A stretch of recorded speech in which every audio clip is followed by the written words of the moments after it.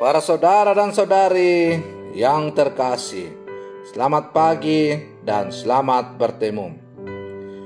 Dari kota Daeng, kota Makassar, kembali saya menjumpai saudara-saudari sekalian lewat renungan harian dari Paroki Santo Petrus dan Paulus Sargapura, edisi hari Sabtu, tanggal 16 Juli 2022.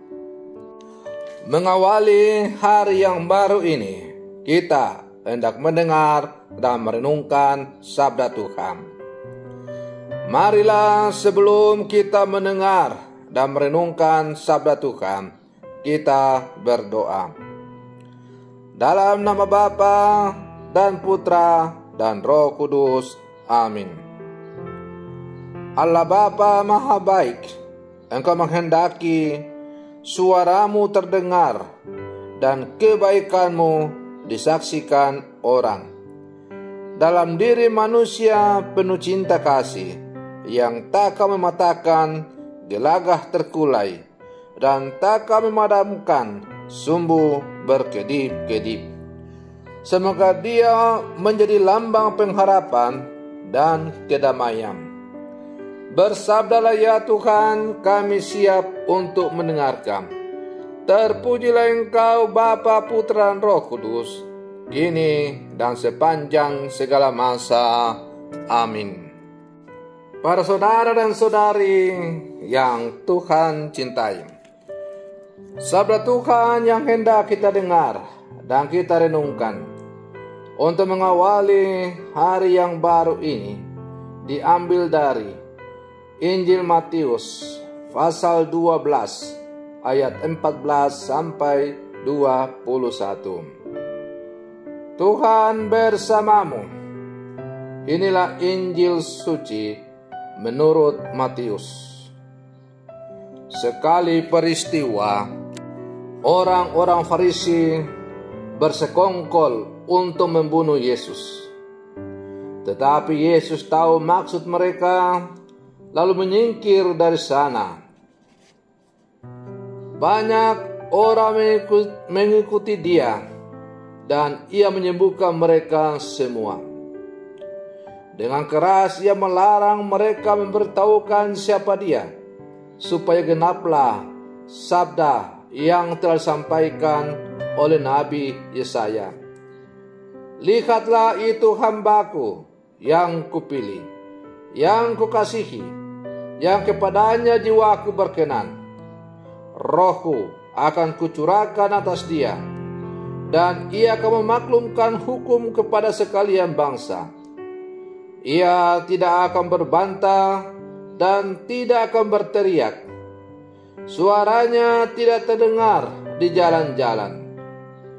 Bulu yang patah terkulai tidak akan diputuskannya dan sumbu yang pudar nyalanya tidak akan dipadamkannya sampai ia menjadikan hukum itu menang. Kepadanya lah semua bangsa akan berharap. Demikianlah sabda Tuhan. Para saudara dan saudari yang Tuhan cintai Gereja merupakan persekutuan umat yang mendasarkan imannya pada Yesus Kristus. Sejak awal, gereja mengimani bahwa Yesus merupakan pribadi yang padanya roh Allah bersemayam, yang padanya Allah berkenan, sehingga hukum dan ketetapan Allah akan diwartakan ke segala bangsa. Hari ini kita menyaksikan kebenaran iman ini.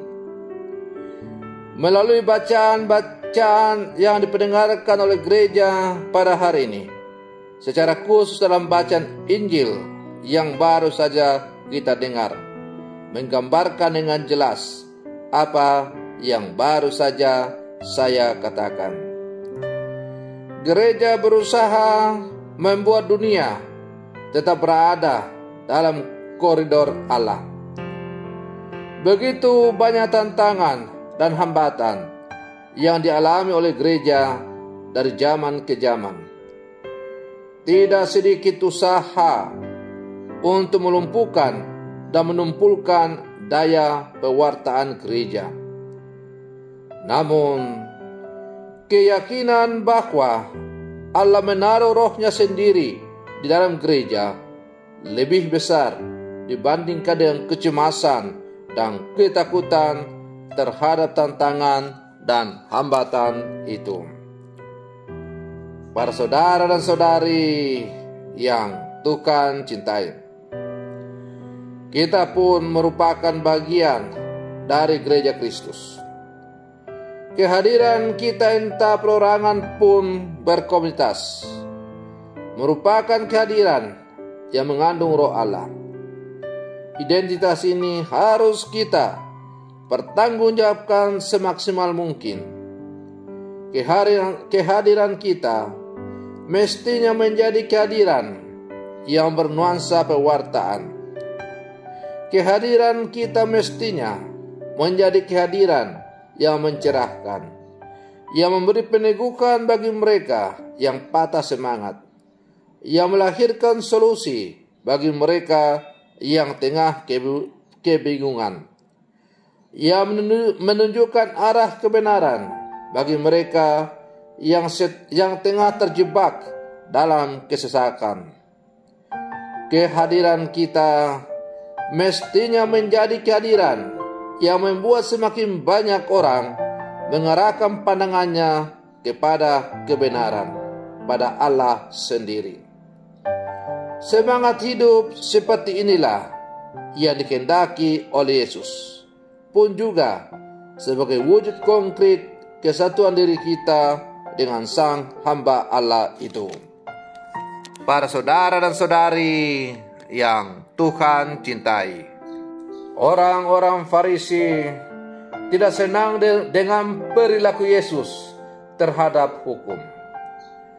Mereka ingin menyingkirkan Yesus dari kehidupan.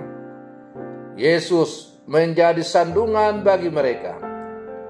Oleh karena itu, Yesus menghindar dan meneruskan perjuangannya dalam kesederhanaan dan pelayanan tersembunyi.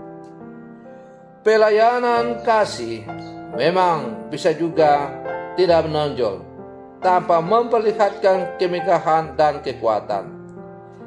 Kasih mendidik pelan-pelan tetapi pasti, tersembunyi tetapi berarti.